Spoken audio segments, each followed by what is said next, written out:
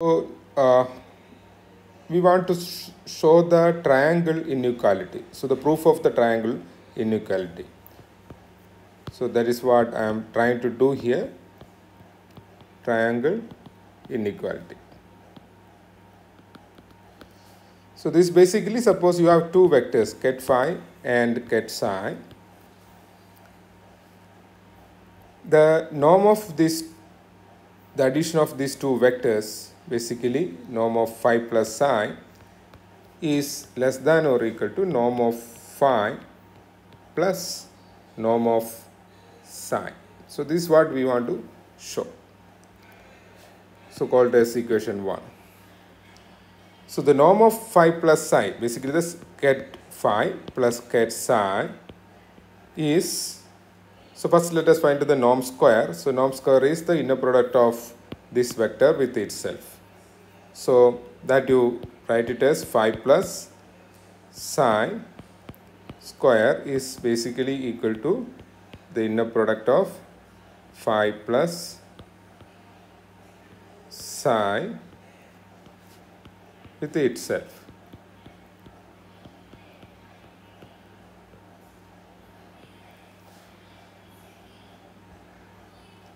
So this is equal to first term will be norm of phi square. So the last term will be norm of psi square plus bra phi psi plus bra psi phi. So bra phi psi, inner product of phi with psi, is complex conjugate of the inner product of psi with phi. So in general, bra phi psi is a complex number. You can call that as a z. So, so you see another important thing is the left hand side of this uh, norm square is a real number. So the right hand side is should be real number. So this is real, this is real. Phi psi plus psi phi. So so if it is equal to z, you can see that z plus z star is nothing but 2 into real part of z. So this the last part here is also a uh, real quantity. So now uh,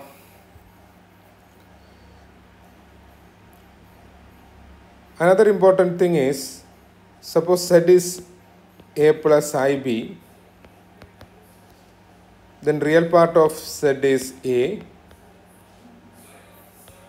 and uh, the modulus of z is a square plus b square power 1 by 2. From this you can easily see that the modulus of z is always greater than or equal to real part of z. So from using this, you can write down this equation number 2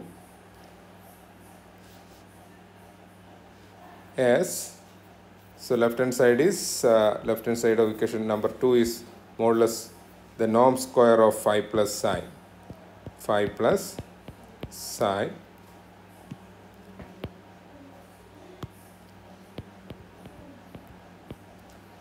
is equal to more or less phi norm square of phi phi plus norm square of psi. Then 2 into real part of phi psi.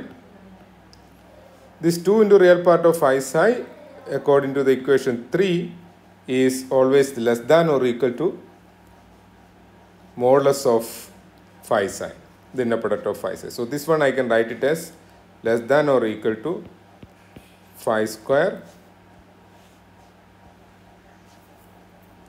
plus psi square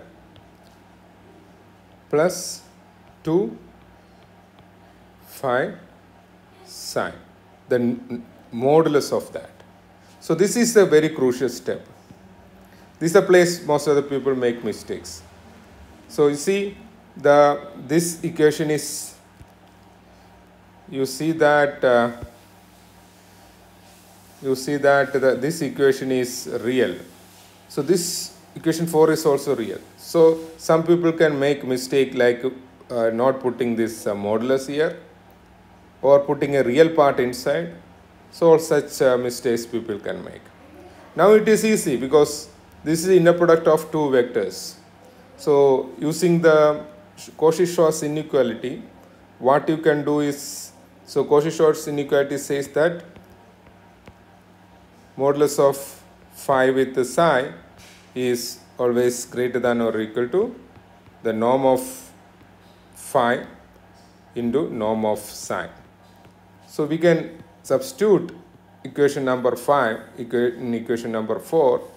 So what you get is phi plus psi square is less than or equal to phi square plus psi square norm, norm psi square plus 2 modulus the norm of phi norm of psi.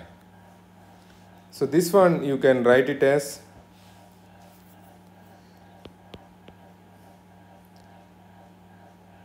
phi plus norm phi plus norm psi all square.